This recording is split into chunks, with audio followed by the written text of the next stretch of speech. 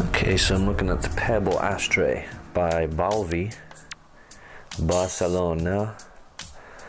So uh, I was using a tobacco tin with a springy lid as an ashtray, but the spring broke and it happened twice. I bought a new one and it broke as well.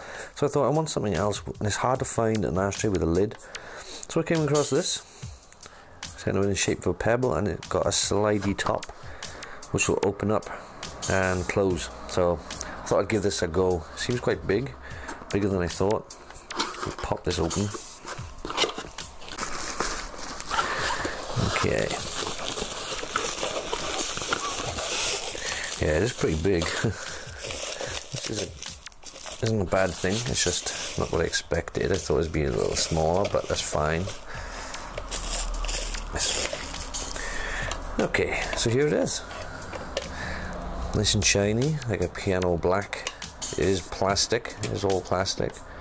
You can see my reflection there. Um, but yeah, it looks okay, it looks quite smart.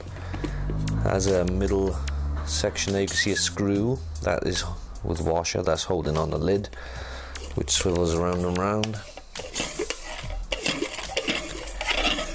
Hope that doesn't come unscrewed at any point and we have three white really grippy rubber feet on this thing as well. So it'll stay I think nice in place. Yeah it's not going to move.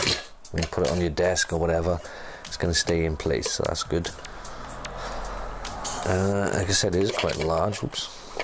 I have on this opening here a cigarette holder which is a little bit thin for regular cigarettes, but I think that's the point. I think you're supposed to wedge it in there so it holds it nice and tight rather than just resting it in there. If you look at the photo on the front there, see it's kind of squashed into the into the holder there, so it'll hold it rather than rather than balancing it.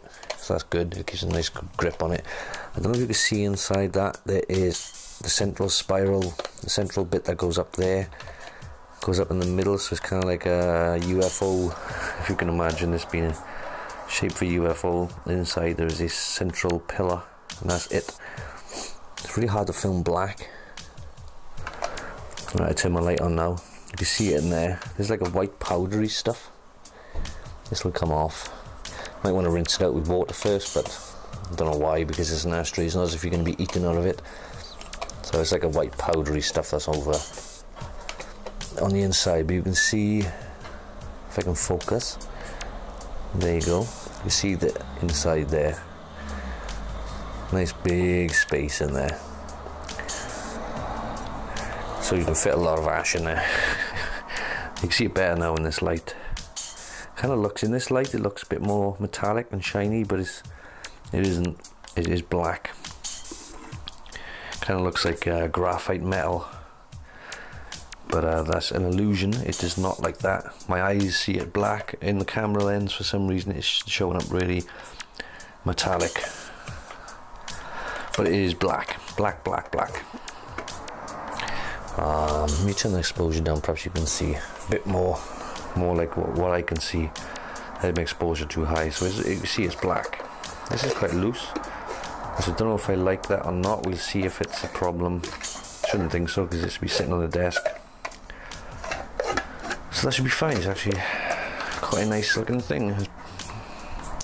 So that's about it really, it's an ashtray and it seems really good quality. These rubber legs seem quite grippy, so it's not going to move around too much. Um, plastic, I'm guessing, can withhold or withstand heat.